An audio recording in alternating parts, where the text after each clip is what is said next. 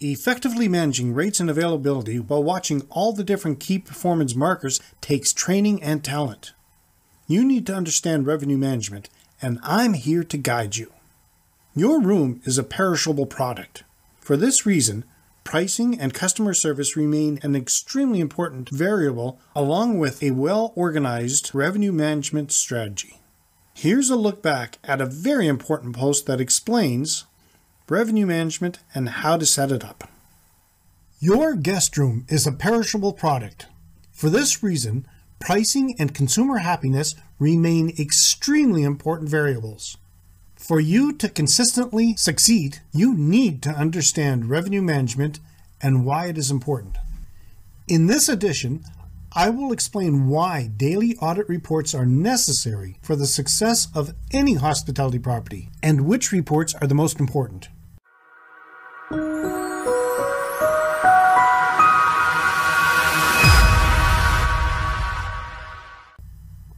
to another edition of Hospitality Property School. I am your instructor, Gerry MacPherson. But let me start by asking you a couple of questions. Why did you want to become a hospitality property owner? Was it the idea of becoming an innkeeper or hotelier and greeting guests sounded appealing? Were you tired of the rat race and wanted to take control of your own destiny?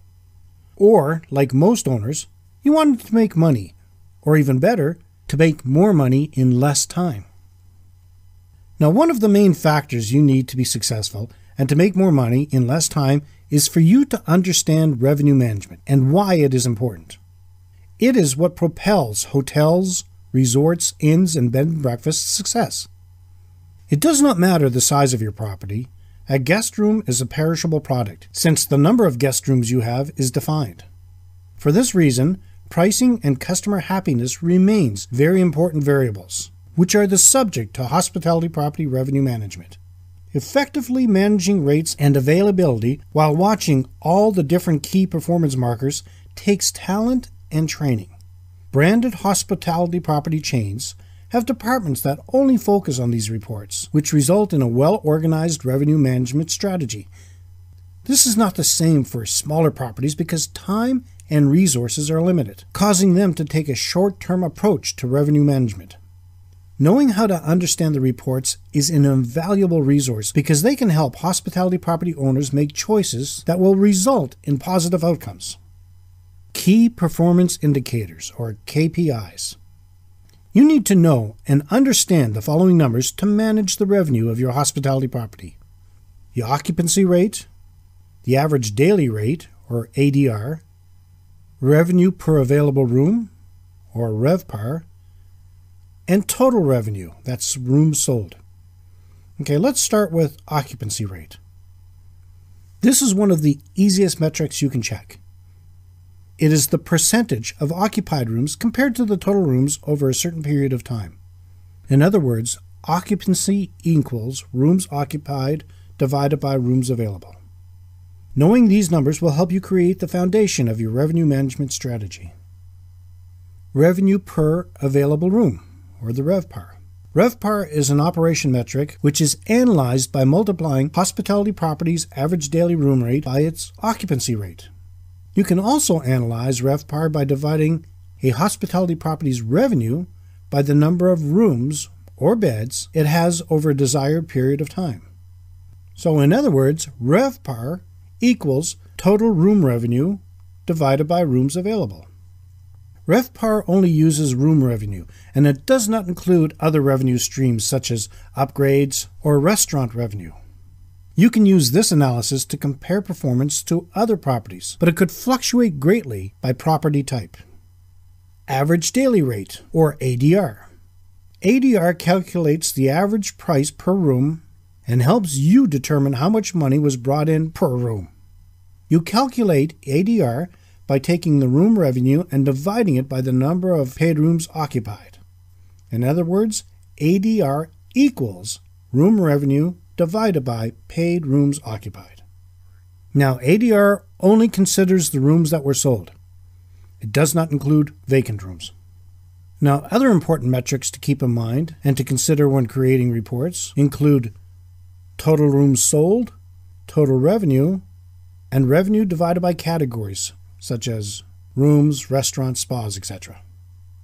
After the break from our sponsor, I'm going to share with you techniques the big brands use and how you can replicate them. Do you have an independent hospitality property, a hotel, resort, inn, or bed and breakfast, and at times feel overwhelmed with all you have to do? Do you find yourself doing everything from checking guests in to marketing to looking for the right people to work for you to cleaning toilets and everything in between? What happens when things become hectic? Do you feel stressed? Do you find it difficult to plan for the future when your only concern is how to get the rooms ready for the new arrivals? So, what can you do? You have to get organized. You have to learn the strategies that'll make you more effective. Wouldn't it be great to learn the techniques the big brand hospitality properties use and to work like you have a full organizational structure supporting you? If the answer is yes, your next question might be How do I do this? Well, if you can make the time and have the extra funds, many universities and colleges offer hospitality training programs. Or you can learn from those who've gone through all your problems and see how they have streamlined their business. You can do this by becoming a member of the Hospitality Property School Group. The benefits of this group include helping your hospitality property to gain a clear vision, help set up your organizational structure, help set up your brand, help your social media strategy, help create an atmosphere to hire the right employees, help grow your business.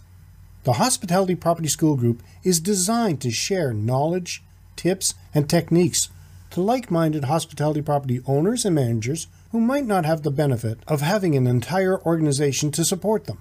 If you are looking for ways to streamline your business, learn how to set up an organizational strategy, to hire and keep the right employees, and to increase your bookings and profit, then visit KeystoneHospitalityDevelopment.com forward slash membership hyphen site and explore the hospitality property group for an entire week for only $1. We guarantee you'll find tips and techniques that you can begin using right away to help start improving your bookings and profit. But don't just take my word for it. Explore yourself for an entire week for only $1. That's KeystoneHospitalityDevelopment.com forward slash membership hyphen site. You've got nothing to lose and everything to gain. Before the break, I said I was going to share with you techniques the big brands use and how you can replicate them. It all starts with the approach to revenue management. You have to take a long term approach, use market information and analysis. One of the major differences between large branded hospitality properties and smaller independent properties is forecasting. Quite often, an independent property owner will look at the current month's revenue and forecast and might make decisions that will affect the entire year. A larger or branded hospitality property will take a look at how the current day and month play into a season, a quarter, and a year. Even though smaller independent hospitality properties do not have the same resources as larger properties, there are a few things you can do. Take a long term approach. When you only look at your revenue strategy on a monthly basis, your property could be leaving money on the table. Larger properties generally look at revenue and rates by quarters and seasons rather than months. When you take a more long term approach to rates and revenues, you can more correctly react to current market conditions. For example, if you're in the high season and bookings are soft, you have an idea of what you need to make up in the following months. Or if your next month's bookings are higher than expected, you can raise the rates to make up for last month's lost revenues. If you handle your rates and revenue monthly, you are more likely to make thoughtless reactions. This means you might make needless changes that could end up costing you more than your current situation. For example, if your current bookings are too soft, your first reaction might be to reduce rates to increase demand. But if you take the whole season into consideration, you might realize that your last month's performance was pretty good, and you need not worry about a fewer bookings at regular prices. More guests in your property doesn't always mean more revenue generated. This is why your ADR is so important. You can lower your rates and generate more demand, but you have to make sure your revenues and profits are still higher. The thing to remember here is that you should be looking at your rate and revenue targets by quarter or season instead of monthly. Every property is different, so there's no definite forecast structure that makes sense for every property. Use market information. Large branded hospitality properties have the benefit of knowledge. They have the resources to purchase market reports that includes information about rates, availability, and projected demand. If you don't have the resources to buy your own market research reports, because they are expensive, you can check with your local tourism websites or office for up to date information.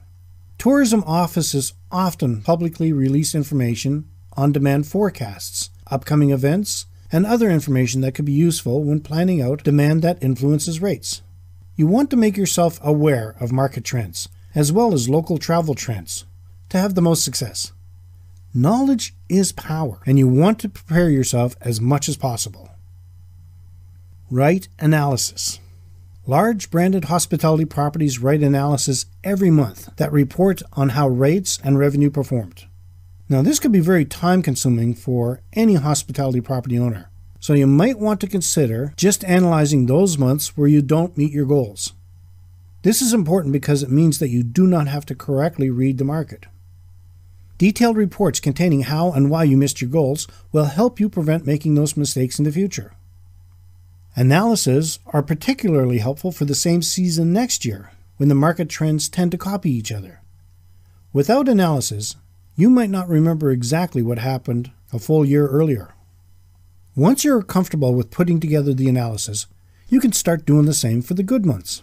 If you make a decision and read your market correctly, you will likely want to remember what you did to replicate it in the future. By learning and understanding key performance indicators and following the three steps to revenue management, taking a long term approach, using market information and analysis, you'll be able to operate your hospitality property like a large branded property and stay ahead of your competition. Are you staying with me so far? Let me know by leaving a short comment. Now, I'm going to take a look at the reports you need for your revenue management strategy. A healthy revenue management strategy requires daily upkeep. Many hospitality properties will conduct their reporting in late evening after most of the check ins have arrived and the guests are tucked in for the night. Nightly reports will help you close out the present day and prepare you for the next. If you would like to see a sample of a shift audit report and a departure report, download your free examples below. Now, here are a list of the reports you should run every night. A room and tax report. This report is fairly clear. The room and tax report lists all of your room's revenue and taxes for that day. You want to run this report daily in order to know exactly how much money is coming into your property each day, and then use this report to identify possible issues. For example, you can compare it to your arrivals and departures and continuous reports to make sure that your revenue falls into the normal range for your existing occupancy. If you decide not to run this report, it could cause you problems. For example, if somebody did not check out, but the revenue is posted, it will cause accounting problems later on. Instead of having to make an adjustment later, you can catch it immediately and lessen disorder later. Shift Audit Report. Each front desk agent or user needs a shift audit report at the end of their shift on the day. The report includes a breakdown of every transaction sold by category and item. It should also include a breakdown of the methods for payment, including cash, credit cards, and any other means. This should be used for each front desk agent or user to balance their daily shift by checking and balancing each revenue and cost source. The shift audit report needs to include cashier or user ID, category or department breakdown, and payment type breakdown. On top, the transactions should be sorted by category and item. After each item, there is a subtotal, and under each category is a department grand total. Then there's a payment section that lays out each form of accepted payments. You will then have the grand totals for both departments to compare to the payments grand totals. Make sure they match. If the grand totals do not match, you'll be able to find where the payment discrepancy occurred with these reports. If these daily audit reports are not completed by staff, it could create accounting problems in the future. These reports allow you to see patterns, track them over time, and identify the problems when they occur. It also helps keep employees in check.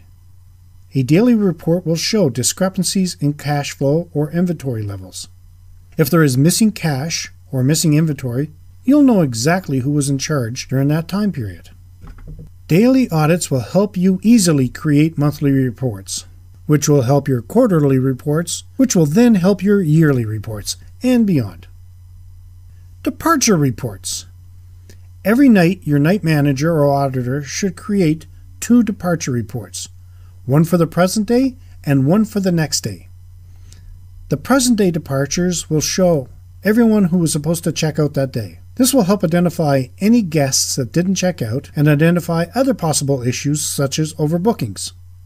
Your next day departure report helps your staff prepare for the next day's departures. Your front desk needs to know which rooms will be vacant and available for incoming reservations, and the cleaning staff will need to take the necessary steps to preparing the rooms. Each report should include the following room assignment, reservation and confirmation number, guest's name, arrival date, departure date, room status, in house or checkout, and balance. To see an example of a departure report, Visit this post at keystonehospitalitydevelopment.com forward slash KHDC 067. If nightly departure forms are not done, you could put yourself at a risk for overbookings. Arrival reports. The night manager or auditor should also produce the arrivals report that includes the list of arrivals for the upcoming day and the basic information, such as reservations and confirmation number, guest's name, arrival date, departure date, number of nights, room type booked, and the room assignment. This report helps you identify which guests have been assigned rooms and those who have not. You have to make sure that the assigned rooms will be open to the guests when they are scheduled to check in and assign where unassigned guests will stay. Use the departure reports to ensure the arrivals lists match up and make the necessary changes. The arrivals report also helps you keep track of no shows. If a guest doesn't check in and cancels their reservation, your report will show it. You can then make the necessary changes in your property management system so your daily audits and departure reports remain accurate. Arrivals report help prevent overbookings while enabling you to plan out the daily logistics. Housekeeping report. The housekeeping report shows the property's room number, front desk status, housekeeping status, departure dates, and unit type. This enables the front desk and housekeeping staff to know which rooms have to be cleaned and by when. Housekeepers need to know which rooms are being checked out so they can prepare to replace the bedclothes, towels, amenities, etc. This might not be necessary for smaller inns or bed and breakfasts. Without this report, properties run a risk of check in delays because the rooms are not cleaned. Also, if guests have not checked out by the allocated time, housekeeping will know to contact the front desk and get the problem sorted out. Continuous report. A continuous report helps you keep track of the guests who have extended their stay. When a guest extends their stay, often a new reservation will have to be created. It is also possible that a continuous reservation might mean the rate per night is different.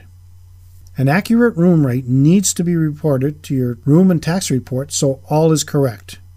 If you don't have a completed continuous report, you run the risk of assigning arriving guests to an occupied room. These six reports will help you keep track of your daily revenue and effectively manage your reservations. Once you have these reports running effectively, you're ready for the next step. The following reports will give your hospitality property a competitive advantage. Sales Strategy Report. The Sales Strategy Report includes monthly analysis, market research, customer segment performance, including ADR and RevPAR. A large branded hospitality property will divide their guests by group in order to see who is the most profitable and target them appropriately. Daily Pickup Report. This report shows the daily rates and ADR for any given day and is generally run every day to keep prices active. It helps the revenue management team analyze which rates are selling and not selling for any given day and how to proceed. If the rates are meeting their goals and projections, they know they're on the right track. But if not, they can make corrections in real time.